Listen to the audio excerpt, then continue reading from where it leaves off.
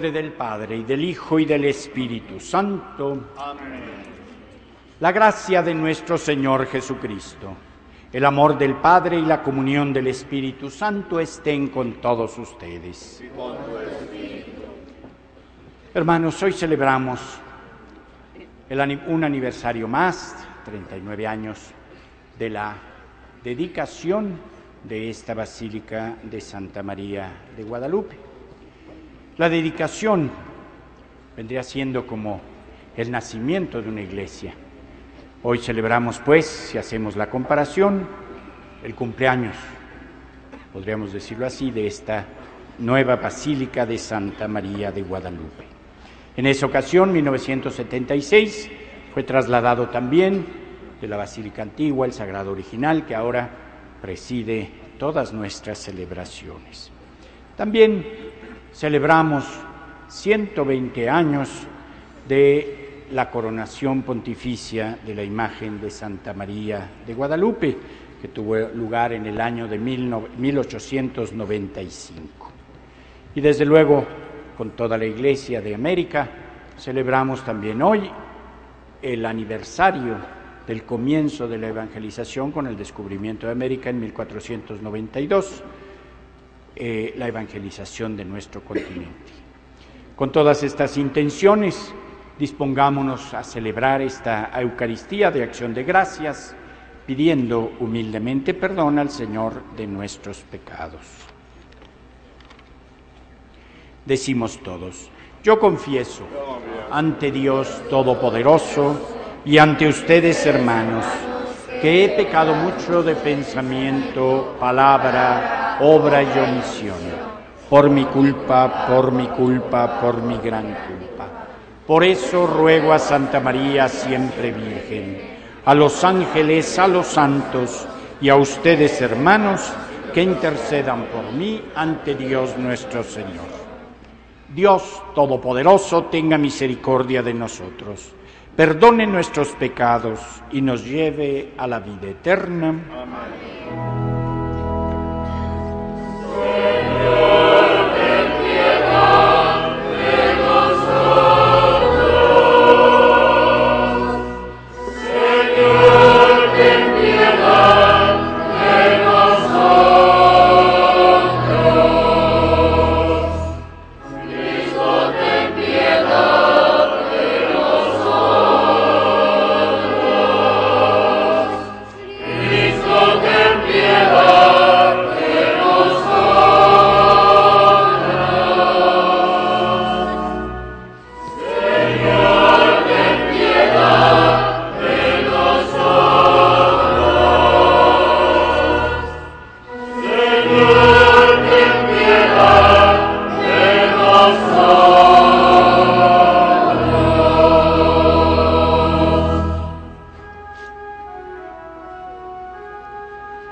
Gloria a Dios en el cielo.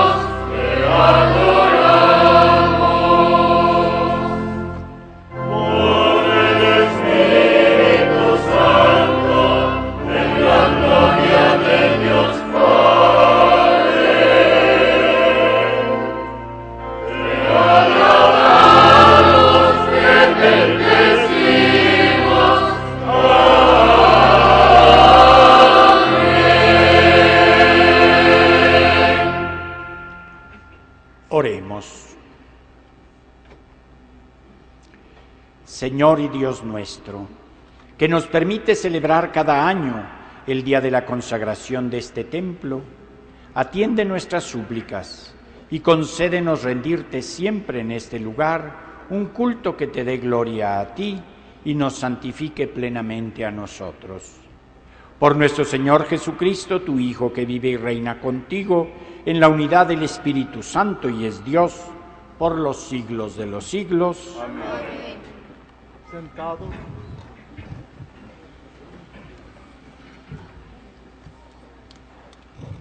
Del libro del profeta Ezequiel. En aquellos tiempos, un hombre me llevó a la entrada del templo. Por debajo del umbral manaba agua hacia el oriente, pues el templo miraba hacia el oriente y el agua bajaba por el lado derecho del templo al sur del altar. Luego me hizo salir por el pórtico del norte. El hombre me dijo, estas aguas van hacia la región oriental, bajarán hasta el Arabá, entrarán en el mar de aguas saladas y lo sanearán. Todo ser viviente que se mueva por donde pasa el torrente vivirá. Habrá peces en abundancia, porque los lugares a donde lleguen estas aguas quedarán saneados y por donde quiera que el torrente pase, prosperará la vida. En ambas márgenes del torrente crecerán árboles frutales de toda especie, de follaje perenne e inagotables frutos. Darán frutos nuevos cada mes, porque los riegan las aguas que emanan del santuario. Sus frutos servirán de alimento y sus hojas de medicina. Palabra de Dios.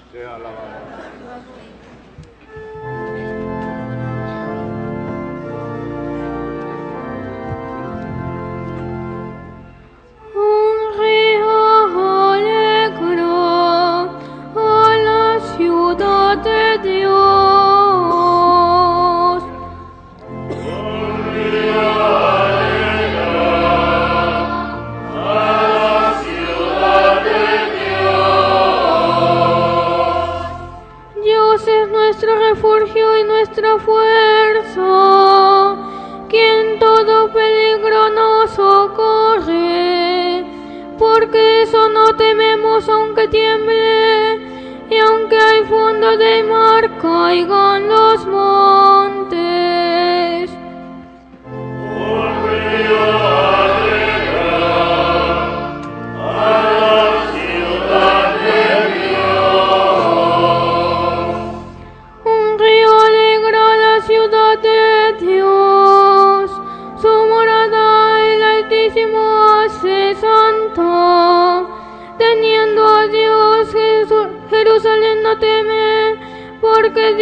protégete,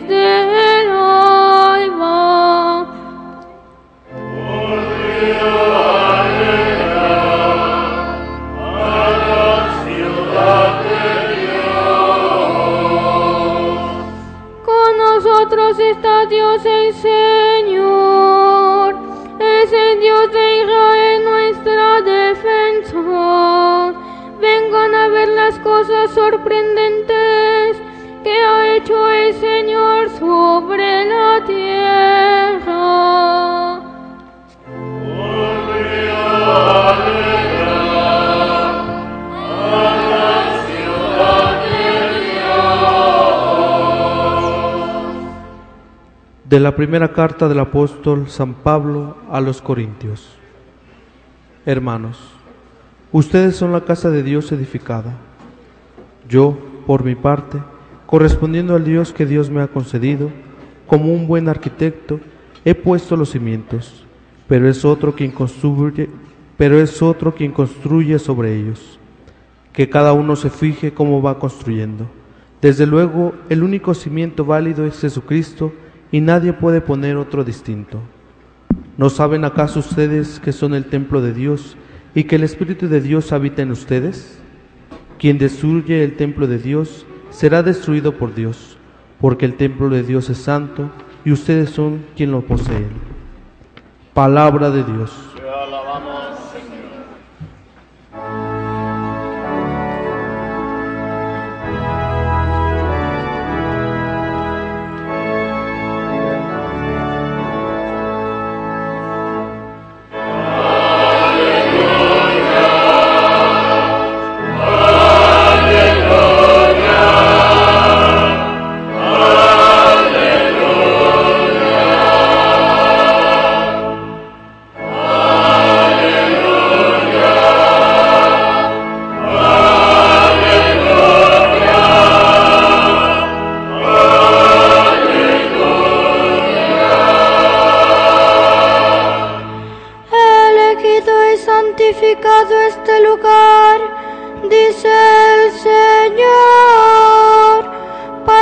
Siempre habite ahí mi nombre.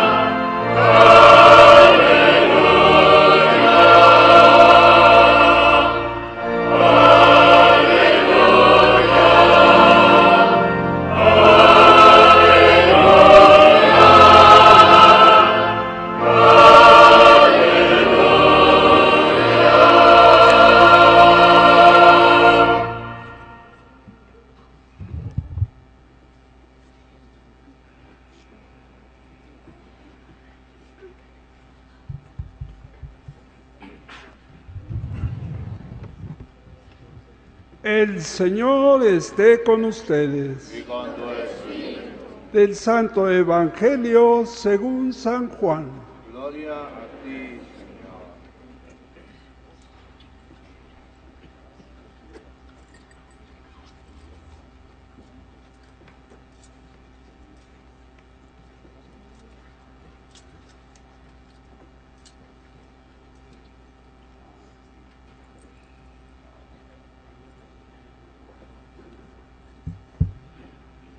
Cuando se acercaba la Pascua de los judíos, Jesús llegó a Jerusalén y encontró en el templo a los vendedores de bueyes, ovejas y palomas, y a los cambistas con sus mesas. Entonces hizo un látigo de cordeles y los echó del templo, con todo y sus ovejas y bueyes. A los cambistas les volcó las mesas y les tiró al suelo las monedas. Y a los que vendían palomas les dijo, quiten todo de aquí y no conviertan en un mercado la casa de mi padre. En ese momento sus discípulos se acordaron de lo que estaba escrito, el celo de tu casa me devora. Después intervinieron los judíos para preguntarle, ¿qué señal nos das de que tienes autoridad para actuar así? Jesús les respondió, destruyan este templo y en tres días lo reconstruiré. Replicaron los judíos, 46 años se ha llevado la construcción del templo y tú lo vas a levantar en tres días. Pero él hablaba del templo de su cuerpo. Por eso, cuando resucitó Jesús entre los muertos, se acordaron sus discípulos de que había dicho aquello y creyeron en la escritura y en las palabras que Jesús había dicho. Palabra del Señor.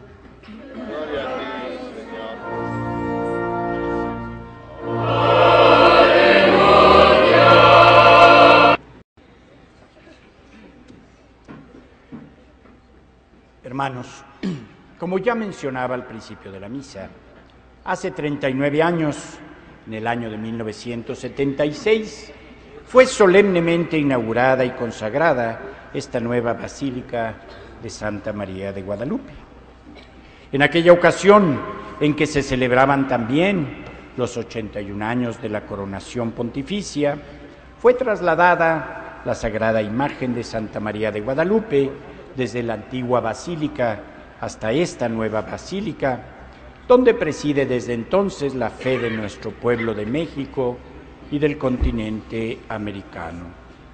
Hoy estamos celebrando también los 120 años de la coronación pontificia, celebrada en 1895 gracias al empeño del entonces abad de Guadalupe, don Antonio Plancarte y la Bastida, durante el pontificado del Papa León XIII.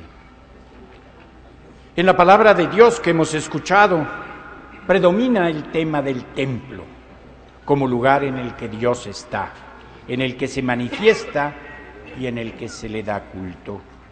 El profeta Ezequiel nos habla de un manantial de agua que tiene un poder regenerador de vida, haciéndonos saber que la presencia del Señor será una bendición manifestada con poder vivificante y creador.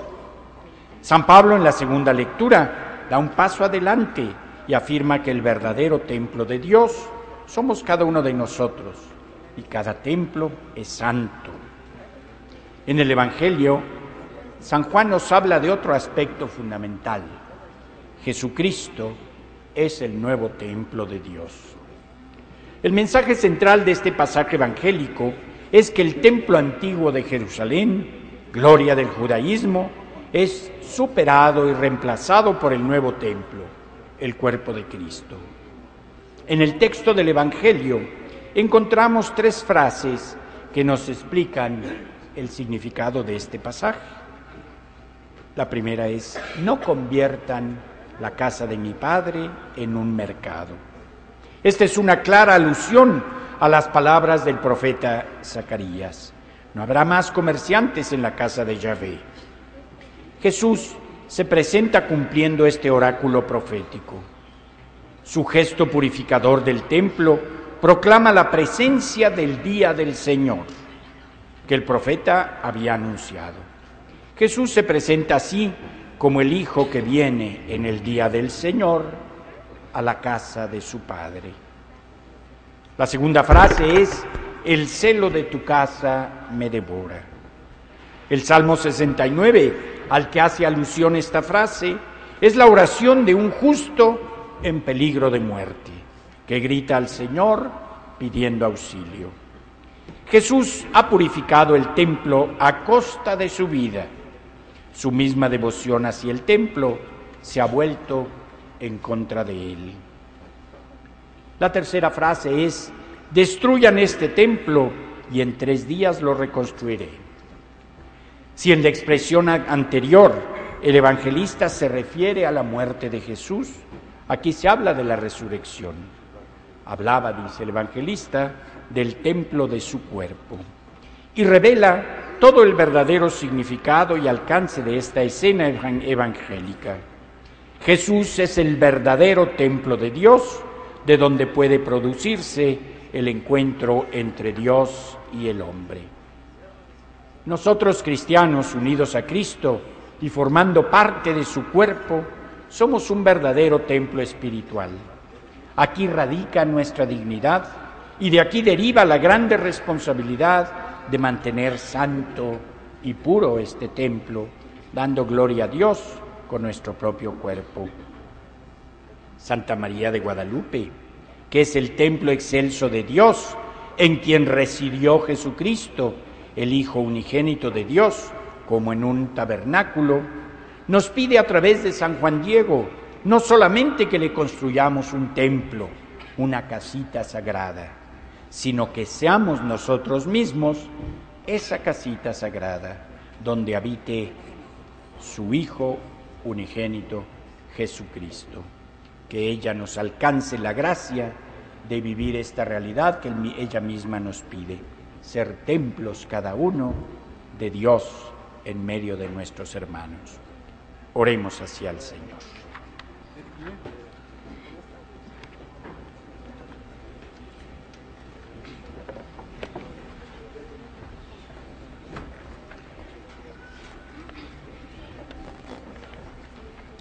Hagamos, hermanos, nuestra profesión de fe.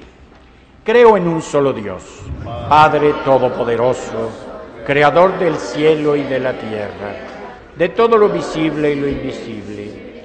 Creo en un solo Señor Jesucristo, Hijo único de Dios, nacido del Padre antes de todos los siglos.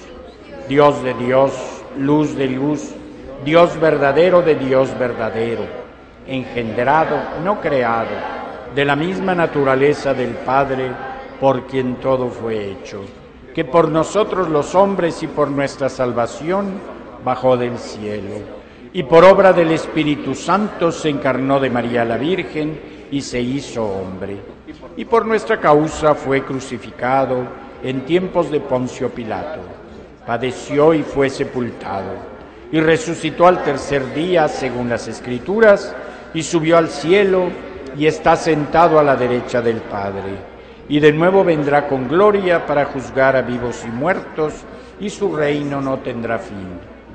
Creo en el Espíritu Santo, Señor y dador de vida, que procede del Padre y del Hijo, que con el Padre y el Hijo recibe una misma adoración y gloria, y que habló por los profetas. Creo en la Iglesia que es una, santa, católica y apostólica. Confieso que hay un solo bautismo para el perdón de los pecados. Espero la resurrección de los muertos y la vida del mundo futuro. Amén. Como miembros integrados en la construcción de la Iglesia y convertidos en piedras vivas del templo donde Dios habita con su pueblo, dirijamos nuestra oración al Padre y supliquémosle por todos los hombres. Respondamos a cada una de nuestras peticiones diciendo, te rogamos, óyenos. Te rogamos, óyenos. Por nuestro Santo Padre, el Papa Francisco, por todos los obispos, presbíteros, religiosos y religiosas y laicos reunidos en el sínodo episcopal, para que Dios se digne visitarlos con su gracia, iluminarlos con su espíritu y revestirlos de su fuerza, para que puedan encontrar una respuesta adecuada a las necesidades pastorales de las familias de nuestros tiempos. Oremos. Óyenos. Por quienes gobiernan las naciones, para que trabajen con interés y constancia por la paz y el bienestar entre los pueblos. Oremos. Por nuestros pueblos latinoamericanos, para que en el Evangelio encuentren los caminos de justicia, paz, progreso y desarrollo integral que desde hace cinco siglos están latentes en nuestras vidas. Oremos. Te rogamos, óyenos. Por nuestros hermanos perseguidos que vienen a esta basílica, que se ven sometidos a pruebas y dificultades, para que encuentren fuerza en su fe y consuelo en nuestra caridad. Oremos. Te rogamos, óyenos. Por los enfermos que visitan a Santa María de Guadalupe, para que Dios Padre generoso les conceda salud, fortaleza y paz. Oremos. Te rogamos, óyenos. Señor del cielo y de la tierra, que no puede ser contenido en ningún sitio, pero que has querido significar tu presencia entre los hombres por medio de edificios consagrados a tu nombre, escucha nuestra oración y a nosotros y a todos los que con espíritu de oración acuden a esta Basílica de Santa María de Guadalupe, concédenos los bienes que te hemos pedido. Por Jesucristo nuestro Señor. Amén. Sentado.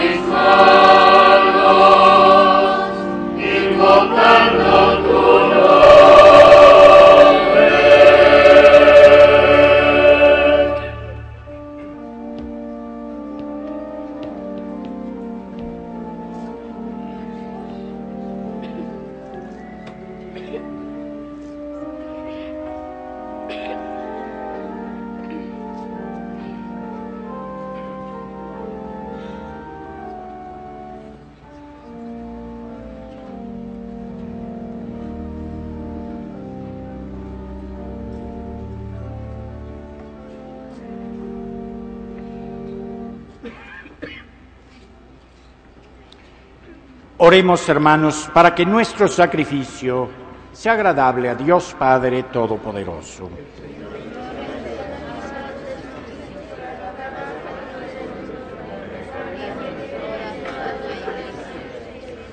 Al hacer memoria del día en que te dignaste llenar tu casa de gloria y santidad, te pedimos, Señor, que nos transformes en ofrendas agradables a tus ojos.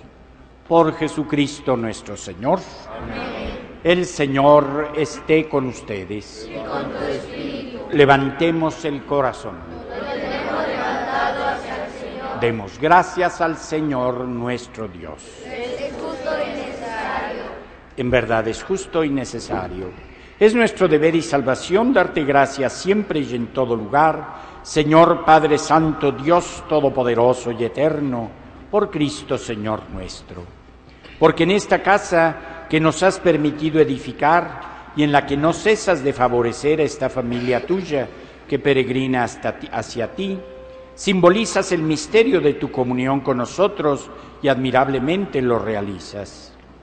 Aquí, en efecto, tú mismo te construyes este templo que somos nosotros y así haces que tu iglesia, cuerpo de Cristo, crezca unida hasta que la lleves a su plenitud en la Jerusalén celestial, verdadera visión de paz.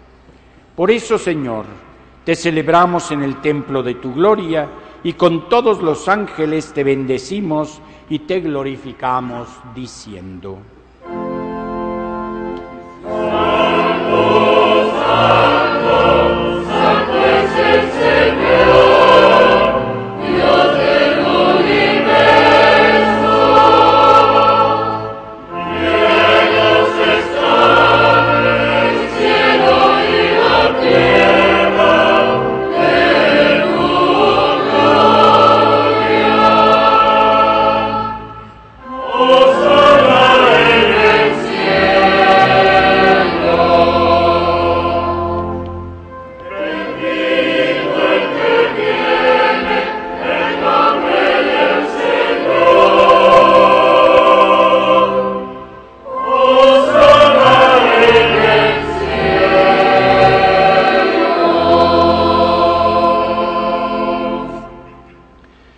Santo eres en verdad, Señor, fuente de toda santidad.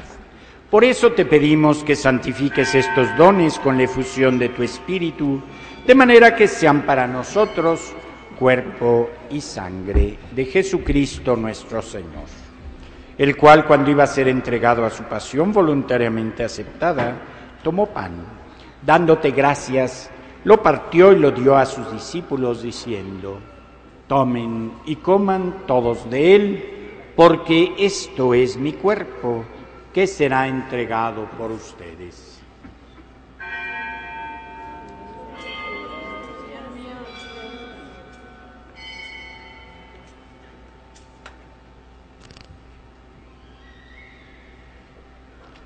Del mismo modo, acabada la cena, tomó el cáliz y dándote gracias de nuevo, lo pasó a sus discípulos diciendo, tomen y beban todos de él, porque este es el cáliz de mi sangre, sangre de la alianza nueva y eterna, que será derramada por ustedes y por muchos para el perdón de los pecados. Hagan esto en conmemoración mía.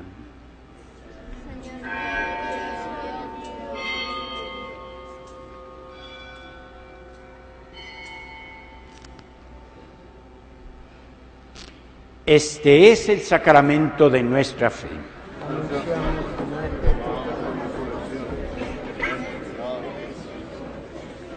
Así pues, Padre, al celebrar ahora el memorial de la muerte y, resurrección de tu Hijo, te ofrecemos el pan de vida y el cáliz de salvación, y te damos gracias porque nos haces dignos de servirte en tu presencia.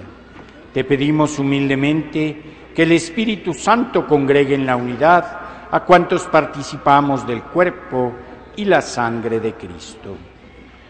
Acuérdate, Señor, de tu iglesia extendida por toda la tierra y con el Papa Francisco, con nuestro arzobispo el cardenal Norberto, sus obispos auxiliares, con todos los obispos reunidos en sínodo en el Vaticano y todos los pastores que cuidan de tu pueblo, llévala a su perfección por la caridad. Acuérdate también de nuestros hermanos que se durmieron en la esperanza de la resurrección y de todos los que han muerto en tu misericordia. Admítelos a contemplar la luz de tu rostro. Ten misericordia de todos nosotros. Y así con María la Virgen, Madre de Dios, su esposo San José, los apóstoles y los santos, y cuantos vivieron en tu amistad a través de los tiempos, merezcamos por ti, Jesucristo, compartir la vida eterna y cantar tus alabanzas. Por Cristo con Él y en Él, a ti Dios Padre Omnipotente, en la unidad del Espíritu Santo, todo honor y toda gloria, por los siglos de los siglos.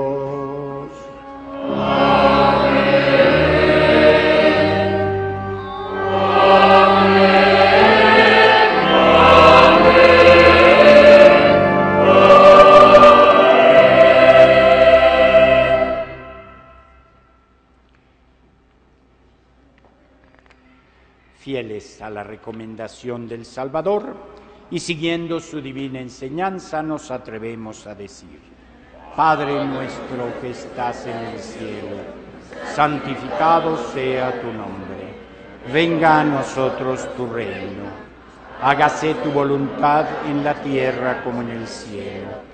Danos hoy nuestro pan de cada día, perdona nuestras ofensas como también nosotros perdonamos a los que nos ofenden. No nos dejes caer en la tentación y líbranos del mal. Líbranos de todos los males, Señor, y concédenos la paz en nuestros días, para que, ayudados por tu misericordia, vivamos siempre libres de pecado y protegidos de toda perturbación, mientras esperamos la gloriosa venida de nuestro Salvador Jesucristo.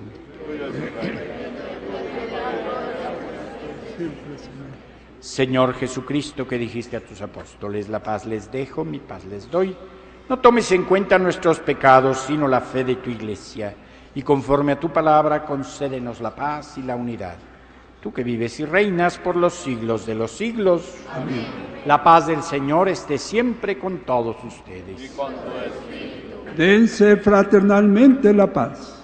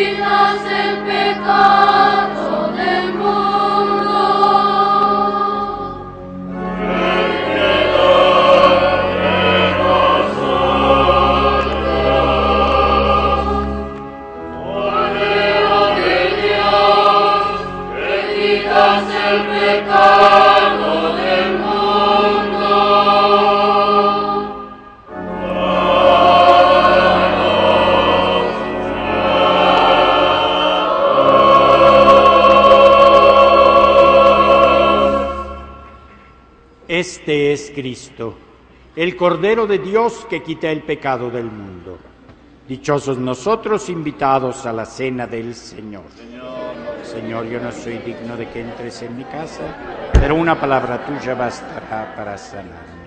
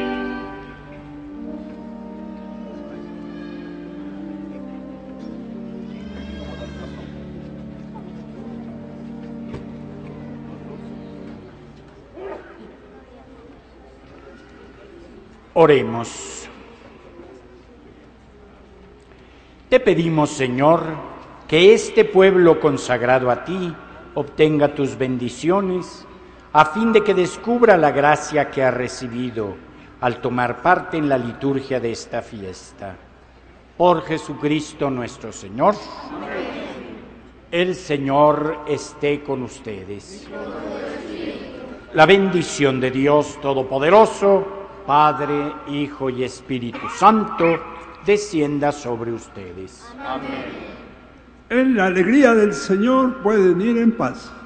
Demos gracias a Dios. Que pasen todos un buen día.